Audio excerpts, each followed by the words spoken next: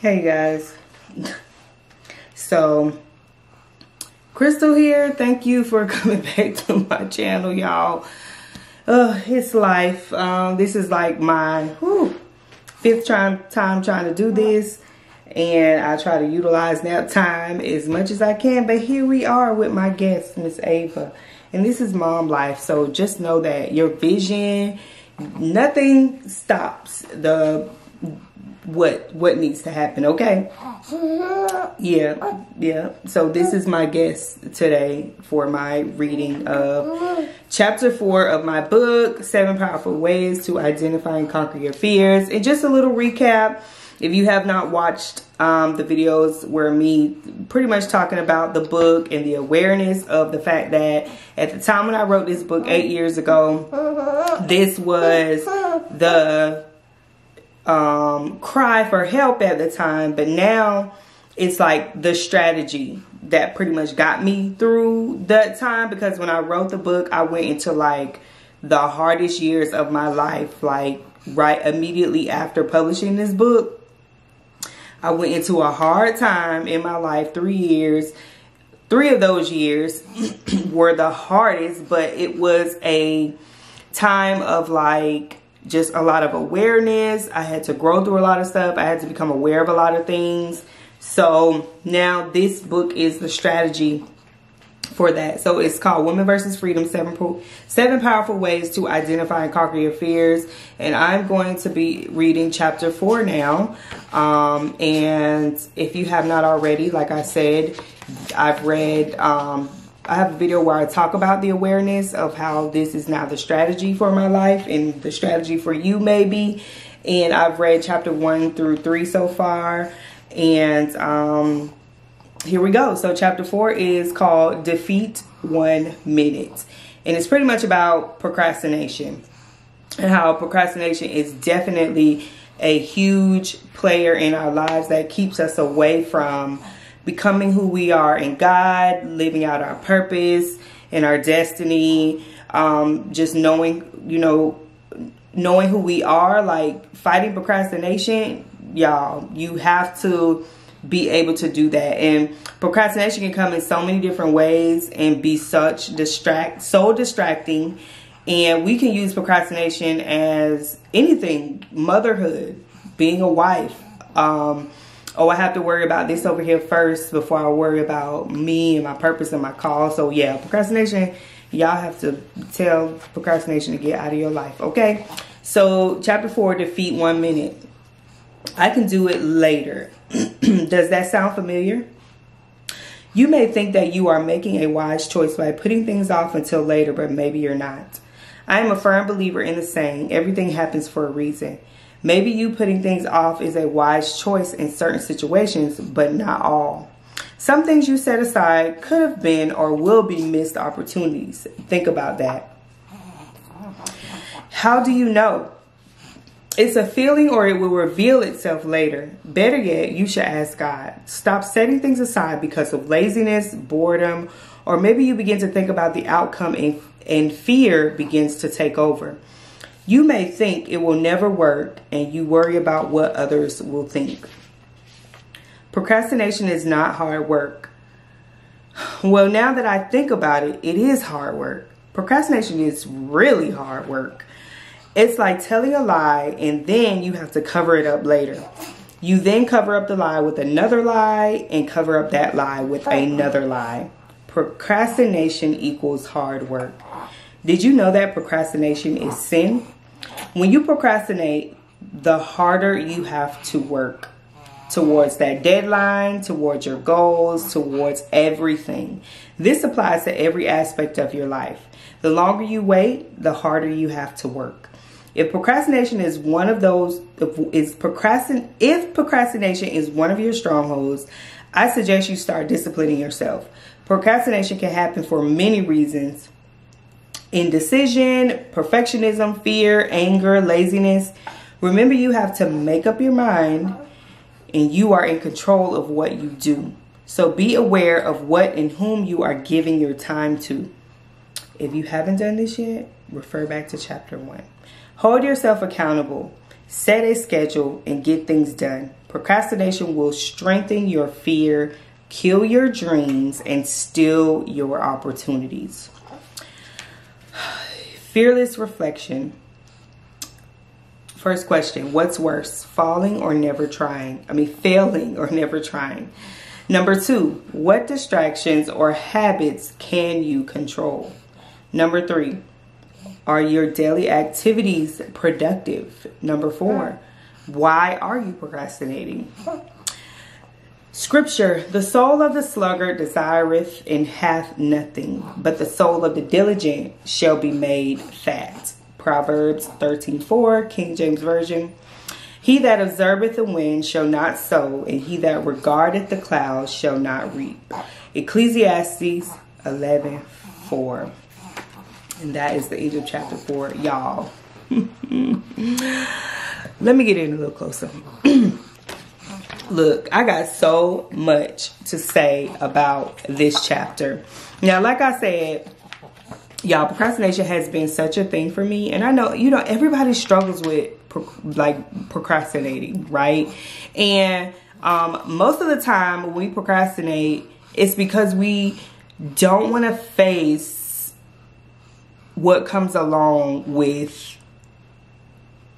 what we're procrastinating on. So for instance, um, y'all, I got so many different instances, examples, times in my life where I procrastinated, but I had like I tried to use me being a mother for the reason that I procrastinate on something else, especially when it's something that God has told me to do, or I'm just supposed to be obedient, or I'm supposed to, you know, be focusing on business, knowing that this will be, you know, it will bring wealth to my family. I procrastinate for so many different reasons, but my main reasons for procrastinating on a lot of things that I desire to do or knew that I should be doing is because of rejection. I didn't want to be rejected um, the opinions of people, what would people think of me, especially those that were close to me and knew me and my lifestyle and my situation. Um, I would procrastinate um, sometimes because I didn't feel like it or I didn't want to show up. Fear of success or fear of failure. Like you procrastinate because you jump ahead of, um, you just assume the outcome and you, you feel like you're going to fail before you even start or the fear of success. And you know with the success comes discipline consistency. You have to constantly show up. You have to become a different person. You have to do things you've never done before. So that's why people like that's why i procrastinate. Let me talk about me. That's why i procrastinated on a lot of things in my past. And now you know, I see and I think about a lot of things and regret and um, shame and guilt try to come upon me after I procrastinated on things because now I sit and think about, oh, what if I had continued to do this when I was doing this, especially when it was something that I had momentum in that I was doing and I was consistent for a while and then I had momentum in it and then I started to slack off, I started to procrastinate because the momentum was starting to bring me success. And because of the success, I would start to be like, oh no, let me stop because mm-mm. I know I should be doing this. I know I should be sending this email. My momentum had started to catch on, like catch on fire pretty much. And um, people started to show up and people started to see what I was doing. So I would immediately begin to back off. And the first thing that I would do is procrastinate and that would immediately sabotage what I was doing. And man, y'all, like I just, I, I, even thinking about it now, like some things, some projects that I was doing, some things that I was working on in business, and I just stopped because I was like, oh my God, I'm becoming successful. I'm attracting these different people. Um, people are starting to notice me. They're calling on me. And ultimately, this is what I want, but oh my God, now I got to show up. Now I have to keep going. Now I have to be consistent. And it's like, Krystal, what did you expect? so what were you expecting from this? Isn't this what you wanted? But now I automatically begin to procrastinate and I make excuses all because of my fear of success. and imposter syndrome causes you procrastinate because it goes back to rejection and you wonder what people are going to think of you and the thing is you don't even have to worry it's not about the people that don't know you that you're worried about is like i said it's the people that know you so it could be your parents your friends uh, people that know your living situation or just know some very personal things about you that the world doesn't know about you. The people that God called you to doesn't know about you. But because this little handful of people know you and they're going to see what you're doing on social media, you feel like those group of people have the control over your life and they're going to just air out all of your stuff. So now procrastination begins to set in because now you like, okay, I'm not going to do that anymore. Oh, I got to, like, so many different things begin to come up and you feel like, now I have to do this and now I have to do that. Oh, I got to cook dinner. Oh, I have to take my kids to the park. Oh, I have to worry about this over here first before I can really keep going in this. So procrastination reveals itself in very subtle ways. And ultimately, it's just fear. It all boils back down to fear because fear can set such a foundation that when it begins to build up. So say your foundation, the foundation of your life and your decisions and what you do and how you move and how you show up is based on a foundation of fear. So now you have this foundation. Now you begin to build your plan. You like you're assessing your house based off of fear. And so you look at this wall and you build up this wall, but it's a wall of perfectionism. And now you got another wall going up on top of this foundation and it's rejection. And now you have another wall going up on top of this foundation and it's the fear of success. And you have another wall going up on top of that foundation and it's the fear of failure. And you have another, now you're, now you're, um, let's skip the walls and now you're adding, um, the um, sheetrock. I don't know. I skipped over a lot of stuff, but now you're adding up the sheetrock, you know, to to to begin to form the walls. And now the sheetrock is nothing but um, imposter syndrome. Oh my God! So y'all see what how subtle. Um, people just think procrastination, but we have to get to the uh-huh. root of it and the root is always fear, but a fear of what? This is how you overcome procrastination. This is how you defeat one minute. Another thing I want to share, share too is that like I've really had a desire lately to talk to just study time but time from God's perspective. I haven't been on it like I should be, but study it from God's perspective. And we have to know that time is a gift, y'all. And anytime that that time can be stolen from you and wasted and knowing that it should be used um, wisely because time we don't get back but god gives us the gift of time to do what we need to do like it takes time time is like such a process and it's such a um oh my gosh what's the word it's such a deep process that, you know, time gives us. And if it could be stolen away from us and then like it's May 9th, not 9th, it's May 10th right now. And then you wake up one morning and it's December 10th and now you we're coming to another end of the year and you begin to reflect because that's usually what we do in December as the year begins to close out. And you go back and you reflect on like man what did I do with my time from May to December? Like what have I accomplished? Have I done anything? And you'll you'll see how your time has been stolen from you where you've wasted it at and you could have been doing this or you should have done this.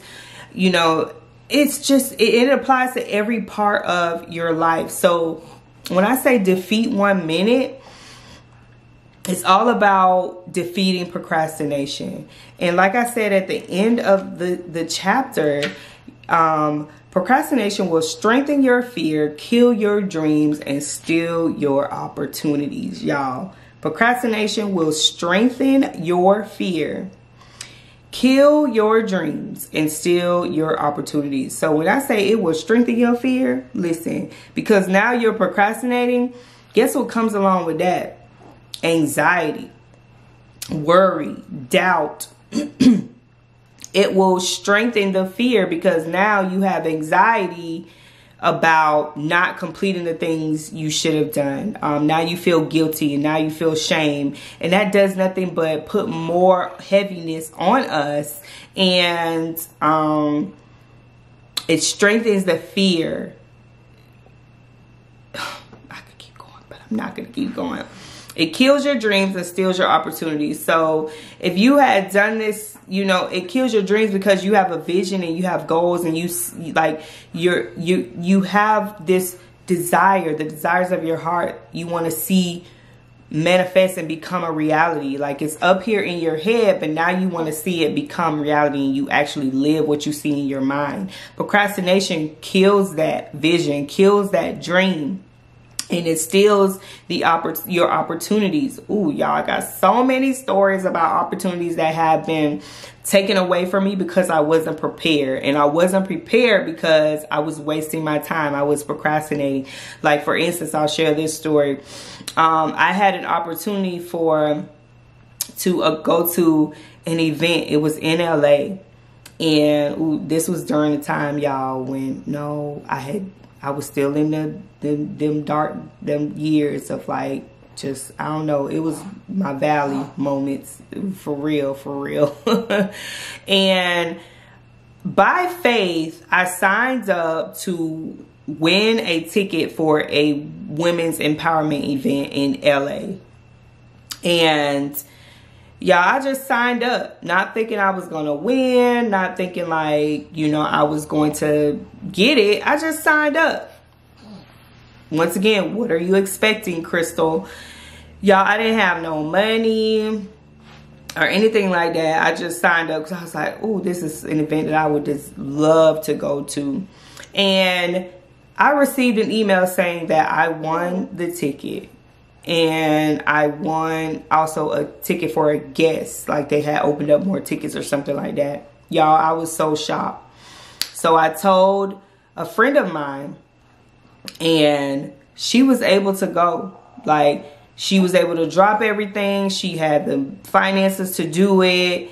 Y'all, I didn't have the money. I didn't have the money to go and it sucked. Like she was trying to help me figure things out. Like she didn't offer me no money or say, "Oh, I'll buy you a plane ticket" and stuff like that. But I didn't have the money to get a plane ticket. I didn't have the money to get a hotel room. I probably didn't even have the clothes to wear.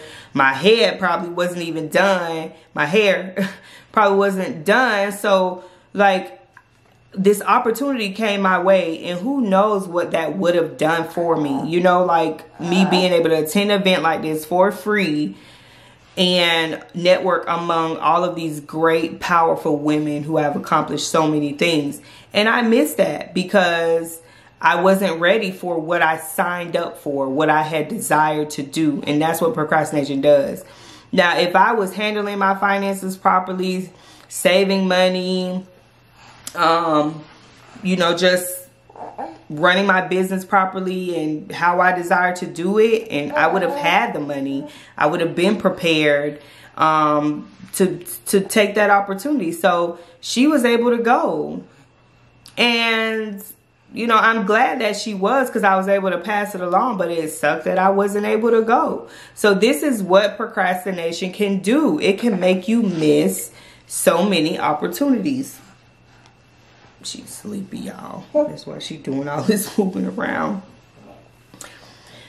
Ooh, and this still applies to my life today, y'all. Like, procrastination is hard work because once you procrastinate, now it's like you have to do double the work, triple the work, quadruple the work because you procrastinate once and it catches on like a wildfire. And then if you don't catch it at the moment that you need to catch it, it will keep going and keep going. Oh, I do it tomorrow. Oh, I do it later. Oh, I do that Wednesday. I'll do it. Oh man, I was supposed to do this on Monday. Now it's Friday. Okay, I'll do it next Monday. And it just keeps going and it keeps going and it keeps going. And now it becomes hard work because now when you want to wrap your mind around getting it done, it's, oh, y'all, I'm preaching to myself still. Once you want to wrap your mind around getting it done and sitting down to do it, you feel overwhelmed because if you had did it at the time you were supposed to, it wouldn't feel so hard. It wouldn't be so hard to do in the moment that you need to get it done. So that's why I said when you procrastinate, the harder you have to work towards the deadline, towards your goals, towards everything. This applies to every aspect of your life. So any area of your life that you procrastinate in, um, it's going to be hard work. Every minute that you allow to go by that you don't sit down and focus on that one thing that you need to do, it becomes harder to get done. That's when you have to ask God for some good grace, y'all, and to redeem the time so it doesn't feel so hard. It doesn't, you know, and it's all a mental thing. You can be like, Lord, I procrastinated on this. Forgive me. I know it was something I was supposed to get done. Lord, give me the grace to finish it, to complete it, and get it done right. Because even when you procrastinate and you try to work on something, and it has become too late or you you know you've taken too long to do it now you have to rush. Now you are you're not fully focused. You haven't given it the time that it needed to be completed properly. So now you can cut corners. You um, will probably half do the work it won't be done with excellence y'all so there's so many consequences to procrastination so um yeah that's it I'm looking at the reflection questions. What's worse, failing or never trying? Of course, never trying is the worst. never trying. You know, Myles Munroe, my husband always brings this up, but Myles Munroe, the great Myles Munroe, he says that something about, and I'm just quoting how I remember it, he says that um, something about the most expensive place or the most money is found in the graveyard. And pretty much he's talking about how many people have gone to the grave, they've died and did not manifest or bring to life or lived what they were supposed to do. And why? So many other things came up to distract them and keep them away from what they were supposed to do, which ultimately causes them to procrastinate or feel like something is more of a priority over what they're really supposed to be doing. Um, what distractions or habits can you control? Ooh, that's a good question too. um, maybe you need to change your habits to become a person that doesn't procrastinate. And it takes time. So don't think that because you've been a avid procrastinator um, that the next day you're automatically going to be different and not a procrastinator anymore. Remember, this has become a habit. So now what can you do to begin to change that habit over time um, so you don't procrastinate so much? Do you need to set times to get the work done? Um, do you need to block out time? You need to have a calendar. Do you need to be planning out stuff? And all of the things that would distract you. So let me just give an example. Um, what distractions can you control? So for me, one that I know that I've you need have um, needed to make a priority to deal with is me as a mom and a wife. I'm trying to become more of a homemaker and maintain my home. So budgeting and meal planning is definitely two of those things that distract me a lot and it's always on my mind. So, and it requires me to plan. And I used to tell myself that I was never a planner, a person that plans, no matter how much I tried. Why? Because that's just some not something I've ever did. I never planned out anything. I never set goals. I never but I would I was the the person that always buying planners and stickers and all this stuff, feeling like I needed to do all of these things to become a person that plans. But meal planning and budgeting was always a thing that would distract me. Why? Because if I didn't budget, then I'm worried about money. I'm worried about where the money is coming from, where the money is going. You know, we would get money coming in and it would go right back out immediately, or things will come up and we would have to take from this to put it over here. And when you budget, it gives you a sense of peace like okay i know how much money i need to have coming in i know how much money is coming in i know what my bills are exactly what my expenses are and I need to look at this and keep this as a vision so I don't have to worry about my bills and where my money is going. I have a place to allocate my money and now after that, my bills are paid. I can do everything else. That used to worry me, y'all. Like I used to be so worried about money, the lack thereof. And guess what? As a daughter of the Most High, we should not be worrying about money. And I just needed to do this simple thing budget to know what I have coming in and going out.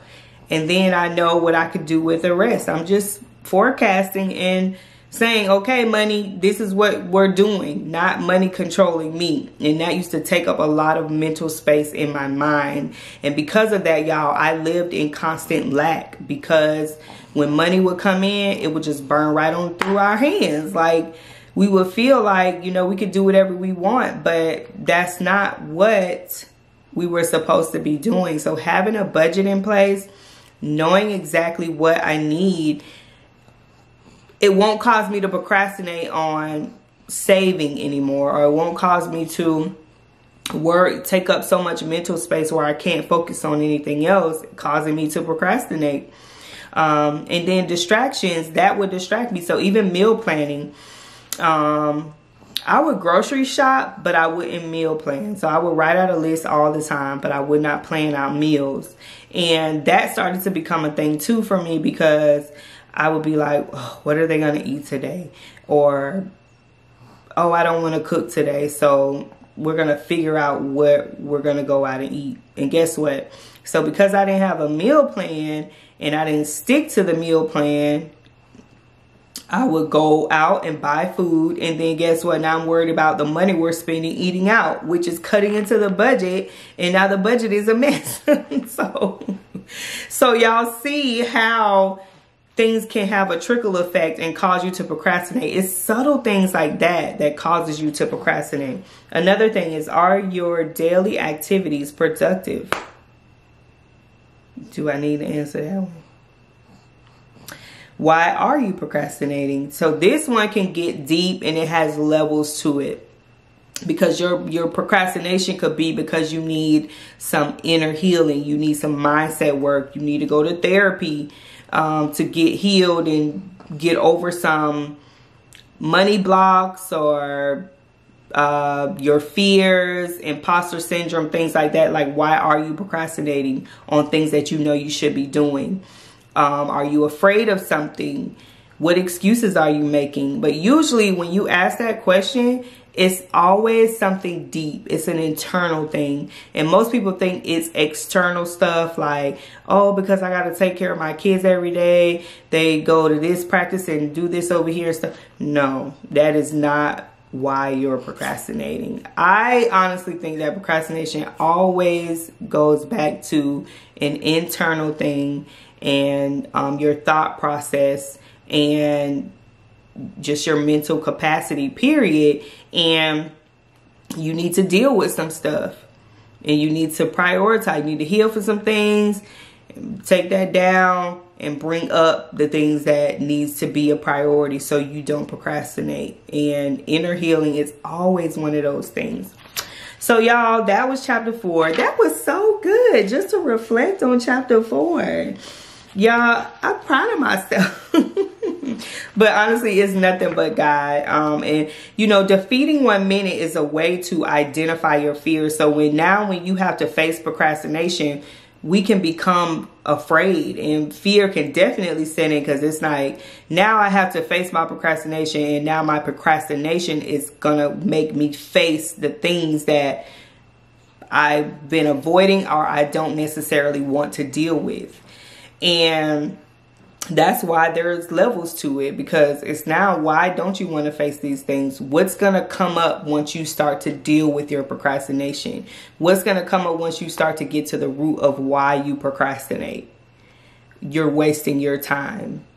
What's going to come up that you're going to have to face and battle head on and conquer and overcome so you're not a procrastinator anymore Now, it's not always an inner thing, healing thing, but to me, it is, you know, and I guess I'm applying it to my life, but when you procrastinate, something that is definitely a priority in your life, there's a reason why. And most of the time, it's not because, you know, you just don't want to do it. Y'all, my video cut off. But then you have to ask why, um, why are you procrastinating? Like, yeah. Are you trying to do multitask and do so many things at one time? Then you have to prioritize. Because if you're trying to multitask and do a lot of things at one time, that is like burning you out and stuff like that. Now you have to go back and assess that. So there's don't so many different levels on um, procrastination and why you're procrastinating. So I definitely encourage you to assess your situation, assess why you procrastinate, assess why you feel like you ha- you can put things off. Can you afford to put things off? Can you afford to say, I'll do that tomorrow or the next day or the next day? Y'all, I'm talking to myself because I'm still overcoming these things but I'm definitely at a place where I'm aware of why I was procrastinating on a lot of things, why procrastination had taken such a um, place in my life where it had control pretty much. So oh, that's chapter four, defeat one minute. And I am going to end this video here. This is chapter, y'all, it always gets so good. So if you got to the end or the second part of reading chapter four, I appreciate you. Kudos to you because you took the time to listen and I hope there was something in this video that blessed you, that um, helped you to say aha, like aha moments, let me get on this. And if you want a copy of this book, this is the this will be the original copy that I wrote eight years ago. It's available on my website, www.Krystalclayton.com. Um, as soon as you go on the website at this time, as soon as you go on the website, you will see a graphic there. You can click on it and you can get a free copy of this book. It'll come directly to your email, a PDF. I don't think I will ever take this down. I'm saying that now, y'all, but who knows? You could be watching this video five years from now. um, and I just wanted to be a blessing and to help you or others at the time that they're in. Um, yeah. So on to chapter five. Thank you for watching. Please continue to tune in to hear all of the other chapters and I'll be back. Remember to follow me on Instagram, Krystal Clayton underscore. I'm also on TikTok where I'll probably be more than anything now, but Krystal underscore Clayton on TikTok and I'll just be sharing all of this stuff that you see here over there. And Krystalclayton.com um, and just thank you for listening. Grab a copy of this book